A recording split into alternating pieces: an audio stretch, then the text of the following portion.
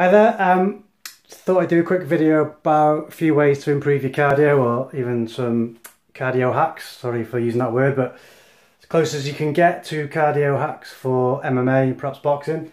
First one, um, guy called Wim Hof, he's got a breathing technique based on something called Tummo meditation.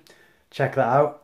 That has really improved my own cardio, um, especially when I'm grappling.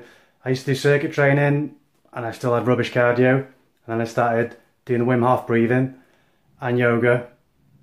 So I changed two things, so could have been one or the other, but I think it was the Wim Hof. Um, it's just simple breathing technique. Do 30 deep breaths as, as uh, inhale as much as you can. Let go as you breathe out. Do that 30 times. Hold your breath for as long as you can. Repeat that twice, and basically that's it. There's also some stuff with cold water immersion as well, which is aimed at um, looking at my arm because it's aimed at improving the kind of function of your blood vessels and your capillaries. Because as you get cold, blood rushes towards your core, and as you get hot again, uh, blood rushes out towards the surface of your skin to, to lose heat. So that's one way. Um, if you haven't seen it, check out. I'm trying to find it now. Check out the. Um, I'll put a link in the description. Check out the Wim Hof documentary on Vice. It's pretty good.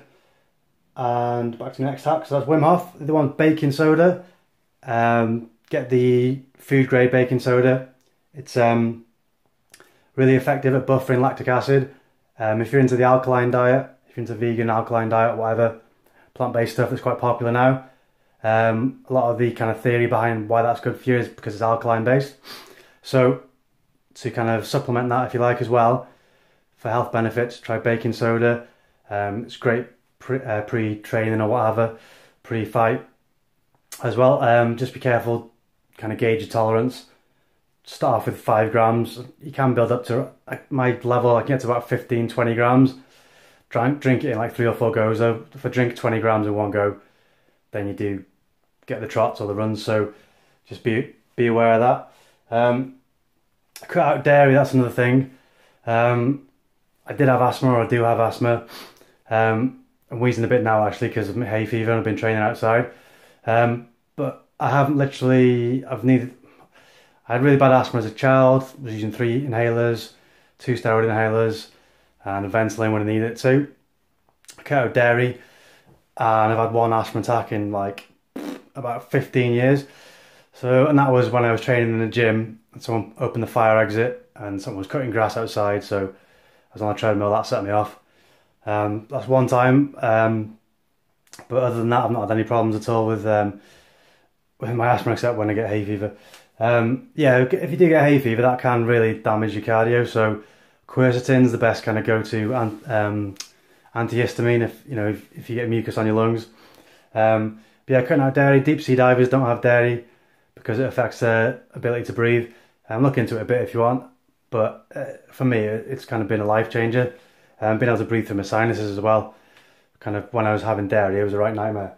Um, and just the other major thing is uh, when you're fighting or when you're competing, there's something I'm rubbish at. Just uh, control your emotions and controlling your adrenaline.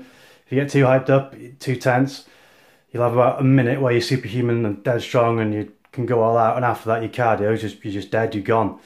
Um, so just being able to control your heart rate using breathing techniques. I've got an article about that. I'll put a link in the description as well.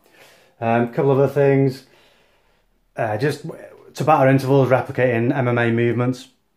Not really a hack, but it's a pretty good way of doing it. Circuit training, again, replicate the actual movements you're doing. Um, you want to build MMA specific or boxing specific fitness, um, so especially kind of in your camp, building up towards a fight.